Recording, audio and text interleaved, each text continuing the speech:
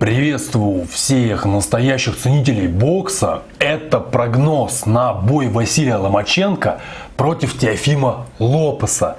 Бой состоится уже совсем скоро, 18 октября. Пройдет он в США.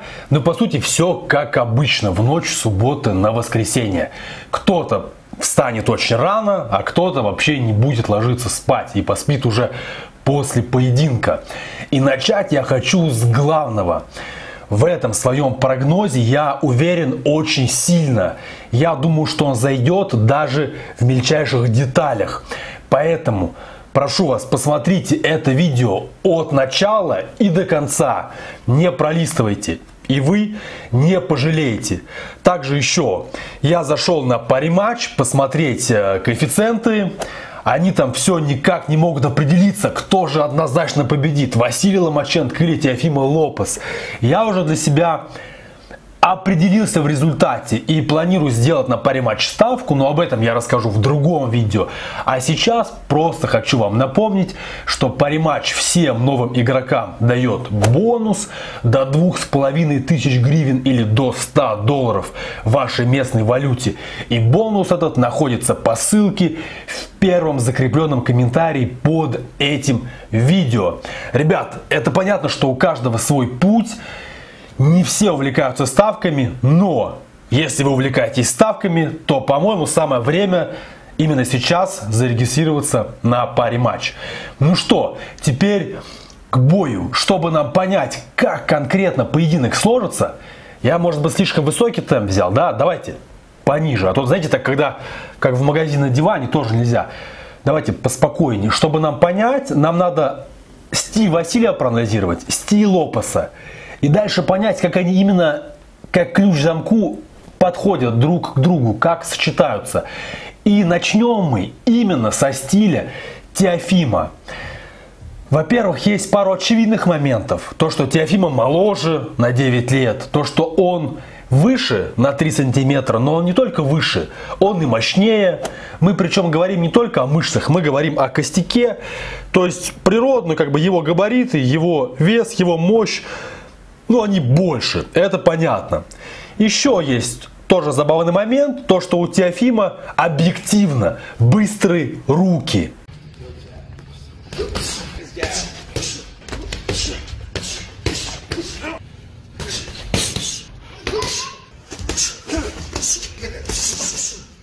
но не ноги. Такие у него волокна мышечные, то есть он быстрый. И теперь давайте переходить к реально таким тонкостям. Многие считают, что бой Ломаченко против Лопеса это вроде как техника против силы. Но это совершенно не так, потому что Теофим Лопес, он не является силовиком. Если вы на него посмотрите, на его стиль бокса, обратите на это внимание. Он не идет вперед, и он не пытается перерубить своих соперников, сокушить их своей мощью. Он боксирует абсолютно не так, несмотря на то, что он крупный, мощный. Да, это все правда. То есть Теофима, он боксирует вторым номером. То есть он стоит, перекрывается плечом, может даже чуть-чуть теснить оппонента, но без фанатизма. Он не атакующий боксер, даже если он идет вперед, не торопясь, теснит.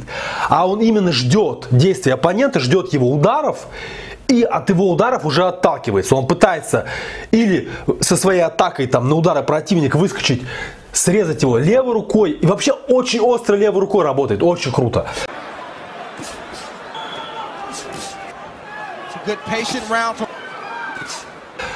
Или пытается ну, коротким ударом правой. Но э, это спортсмен не силовик, а это на самом деле тоже технарь в рамках своей техники, который работает именно в контратаке. The two undefeated heavyweight champions, Deontay Wilder and Tyson Fury, meeting up in a rematch with both. Второй момент, еще более интересный. Эм, если мы посмотрим, какая рука у Теофима реально ударная, ну практически 80% ударов он наносит левой рукой. Если не 85, может даже почти 90. То есть, как говорится, как в советской школе бокса, да, что там левая, левая, левая это основа. Я не говорю, что Теофима великий боксер, но он реально работает практически именно левой рукой. Почему? Вы не задумались? Почему, будучи таким мощным, он резко бьет правой? На самом деле это очень интересно с точки зрения техники. Я вообще хотел бы поговорить много об этом, но я исхожу из реальности, то что если я запишу видео на полчаса, ну не будете вы смотреть полчаса, пролистайте, поэтому придется укорачивать. Короче, если кратко, то когда люди, я встану, да, это может не так эстетично, но мне важно суть показать. Когда вот люди стоят в стойке, то э, понятно, левая нога впереди, правая сзади, но можно стоять более ноги как бы разводить, это правильно. А можно более как бы на одной линии стоять. У меня мешает стул, не могу показать. Ну понимаете, на одной линии ступни. И вот у Теофима они именно такие и еще растянутые.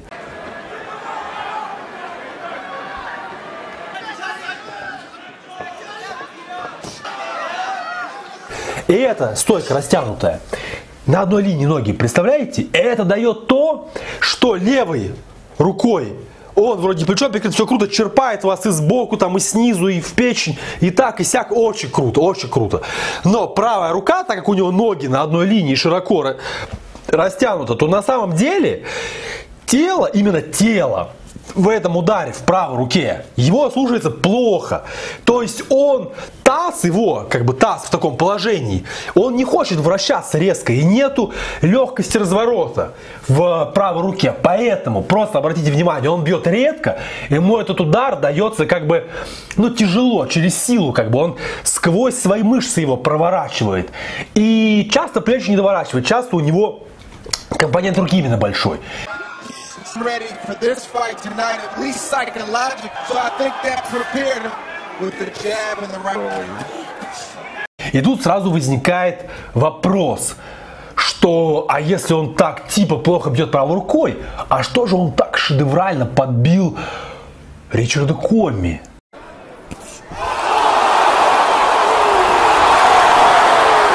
Да, он его подбил просто феноменально вообще. Опять же, на все есть ответы. Во-первых, у Ричарда Коми есть одна особенность, почему он его подбил, и о ней мы поговорим позже. А во-вторых, этот удар был близко, такой полупрямой, полубоковой.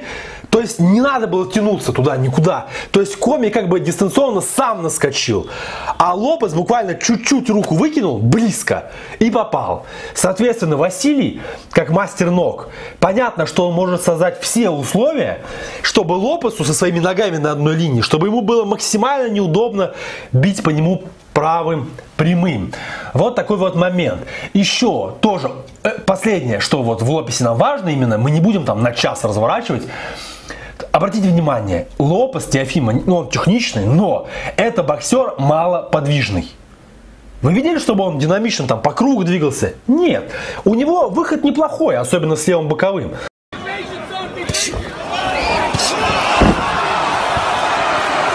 Но по сути он стоячий боксер. У, у него, судя по всему, нету большой выносливости, чтобы двигаться. Это важно.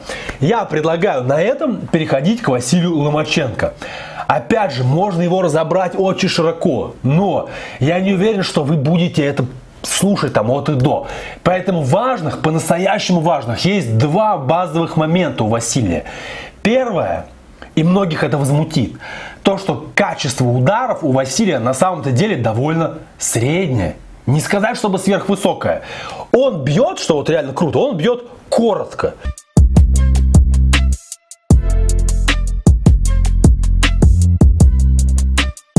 То есть без замахов, без лишних движений. Старт короткий, невидный. Это хорошо. Но если мы будем говорить о силе, о технике удара именно с точки зрения ну, вложение там массы тела ну, довольно среднее. Но при этом Василий имеет просто невероятную работу ног.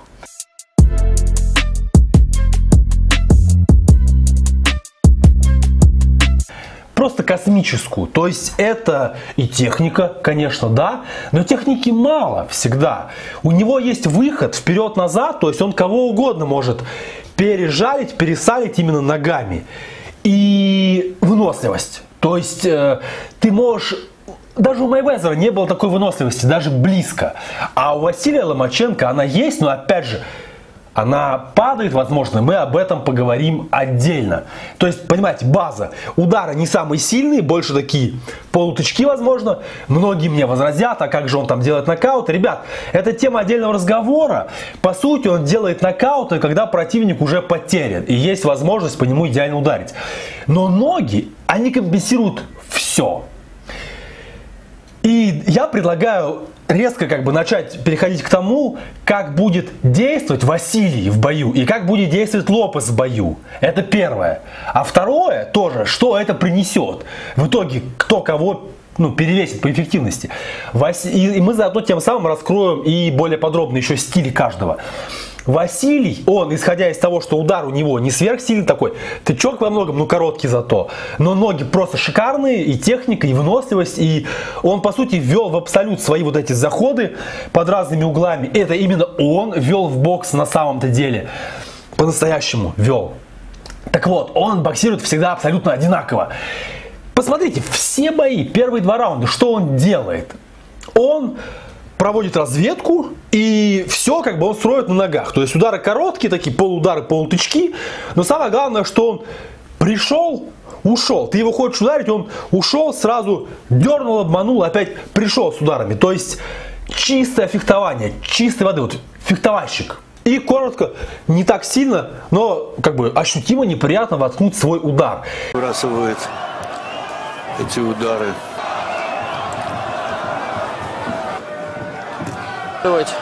Василий. И здесь есть очень интересный момент. Он ужалил из этого стиля ногами сверхподвижного. И его самая главная цель это ужалить тебя в следующий раз как можно скорее. То есть плотность боя. То есть он тебя ужалил, ужалил. Ты только отмахнулся от него. Он ушел ровно вот на 5 сантиметров, как нужно что ты буквально там капельки пота коснулся на его носу, чуть-чуть не достал, сразу тебя еще ужалил. То есть плотность боя. И немножко я увлекся, мы сейчас конкретно перейдем к результатам. Суть-то, в общем, в том, что Василий действует всегда одинаково. И с Лопасом будет ровно то же самое. То есть начнет в своем стиле фехтование жалить и не уходить, а как бы близко. Вот ушел, пришел, ушел, пришел сразу. То есть травить, травить, потравливать. И просто раунд от раунда, третий, четвертый, пятый э, возрастает, возрастает, возрастает плотность. И он программирует. То есть он попал этими ударами, такими полутычками, полударами неприятными. И он тебя уже программирует. То есть он тебя потом, допустим, дернул, ты о, руки там поднял. Или по корпусу вставил неприятный удар. В следующий раз дернул, ты о, руки опустил, а он там оп, в голову. И вот самое главное это плотность, что у него это действие очень высокой плотности, то есть тебя изводит. А, соответственно, раунд там 6-7 начинает еще и по кругу заходить. В последнем бою не хватило сил на это, да, против британца. Люка Кэмп была. А, не хватило, не хватило. Это тоже тема отдельного разговора. Почему не хватило и хватит ли в этот раз? Ну, короче, это его стиль. Теперь, как будет действовать Теофима? Очень многие гадают, что и сам Теофима напускает туман, такой, я, может быть, пойду как Солида. И такие люди думают, как Солида? Это бить ниже пояса? Или как Солида это просто идти вперед, да? Там я буду действовать как э, там кто угодно, как этот Андре Уорд, как тот, как сет. Теофима Лопес будет действовать примерно как всегда, исходя из своего стиля. То есть он, несмотря на то, что он более крупный и мощный, он будет работать вторым номером. Он станет свою эту стойку такую развернутую, ноги поставит на одну линию и будет работать левой рукой. Может будет чуть-чуть подавливать Василия, но без фанатизма. Но он не будет рваться в атаку. Он постарается именно на скоке Василия, он еще на несколько сантиметров повыше, постарается именно Василия встречать как бы его, да, то есть как Василий вокруг него кружит, а он обороняется таким образом и попытается его, короче, поймать на удар. Вот и все. И тут мы переходим к самому главному. А понятно, кто как действует, но не окажется ли так, что Теофима Лопес раз из своей вот этой вот Вдруг э, за счет там покрупнее, помощнее, повыше, что взял и переджебил Василия, допустим. Или как-то раз-два вроде все хорошо, взял и как этого Коми поймал его на удар. Невероятно. Не окажется ли такое? Э, у меня ответ на этот вопрос довольно однозначный. Ну, как бы понятно, что это бокс. Если бы не было интриги никакой вообще, мы бы с вами просто не смотрели бои, потому что зачем их было бы смотреть, если уже все понятно. Но реально на канале у меня есть видео, называется 3D защита Василия Ломаченко. У Вас... По Василию Ломаченко попасть практически невозможно, потому что его стиль предельно защитный, его защита идеальная. Я считаю, что она лучшая в мире, возможно, за всю историю бокса. Я считаю, она даже круче, чем у Майвезера, если не считать высокий расход энергии. Казалось бы, Василий вроде большая плотность боя, вроде он идет вперед, а более круто, когда ты делаешь все то же самое, но еще и назад утекаешь. Но вы понимаете, что он идет вперед не по прямой, а он идет вперед, он заходит. То есть он постоянно рыскает как бы. То есть он вокруг вас, как знаете, вот нехорошая тема, вот эти ракеты всякие там, которые вот сейчас летают, они там гордятся, что нельзя, их ПВО не работает. Что они летят не так вот, а летят вот по таким вот этим непонятным как бы траекториям. Вот так же, как голова Василия. Ліцин з першого дня табору, здається, проводив, рингував, брав Василя Ломаченка до поєдинку з Кембелом. Всі вони, звичайно, були, були ви Василя, а деякі з цих хлопців я тобі хочу. То есть он вас атакует, но он постоянно как бы смещается, в том числе в атаке. То есть он э, даже в ударах своих в атаке, он все равно, у него голова 3D, то есть вверх, вниз, назад, вперед, вправо, влево, все направления. И его зацепить практически невозможно даже большому мастеру. Это невероятно трудно. Но самое главное и секрет, я бы сказал, этого прогноза. Посмотрите, как хорошо смотрелся Теофима Лопес с Коми. А это реально страшный боксер был Коми. Посмотрите его спарринги, когда он стоит с Угасом, Йорденисом из Кубы. Good, Chad. That right hand который весь Эрл Спенса боксирует, я думаю, он бы Василия, скорее всего, ну, разбил бы прям, ну, без шуток. Еще он стоит с другими ребятами, огромными, серьезными, Теофиму Лопес. И он показывает с ними конкурентный бокс. Это невероятно. Но что их всех объединяет? Там же реально Угас это машина, это жуткий тип. Угас. Посмотрите его бои, вы вообще выпадете. Посмотрите, как он Шона Портера, что он с ним сделал. Посмотрите. Так вот, э, что объединяет всех этих боксеров страшных, с которыми хорошо Теофима боксирует? Их всех объединяет то, что они все мощные, но они неподвижные, как и Теофима. Василий Ломаченко это будет первый подвижный противник в карьере Лопеса. У него не было таких противных, противных подвижников, таких подвижных противников никогда.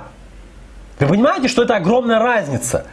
Попасть так вот, зацепить навстречу Коми невероятно жесткого, который в несколько раз жестче Василия. Он, у него качество удара, я считаю, выше, чем Василия. Но он стоячий, он как бы стоячий боксер достаточно. И зацепить Василия, который 3D, у него эта голова перемещается по, по всем направлениям. Да его ты вообще не зацепишь практически. Эта вероятность, она вот Такая вот вообще микроскопическая. Поэтому я считаю, здесь все предопределено.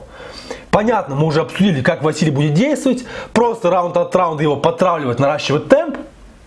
И понятно, как Лопес будет действовать, как э, вот так вот система ПВО крутится, левая рука пытаться его контрить. И это у него не получится, потому что Василий ноги у него принципиально лучше, чем у всех предыдущих соперников Лопеса. И у него как бы ничего не выйдет, он проиграет в ноль.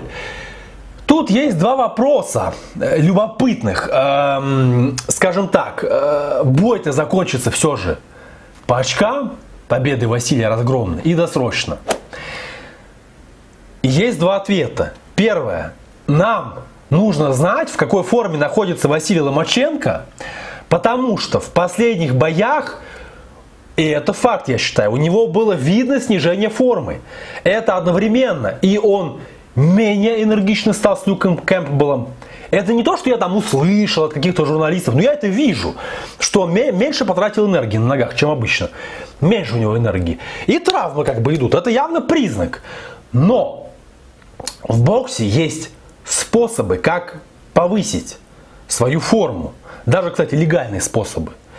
И, но чтобы нам знать, он ими воспользовался или нет, надо знать инсайдерскую информацию. У меня и если он форму ну, повысил свою, как у него там прошлое, хотя бы как два года назад, то это будет досрочная победа. И я даже знаю, ну не то, что знаю, я не Ванга, но я уверен, каким она будет ударом. Не хочу показывать.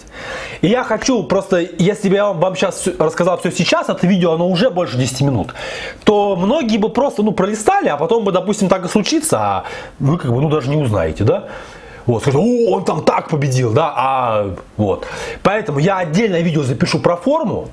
У меня нету инсайдерской информации, но я кое-что заметил насчет его формы. Даже по его лицу, как ни странно, определил кое-какие моменты.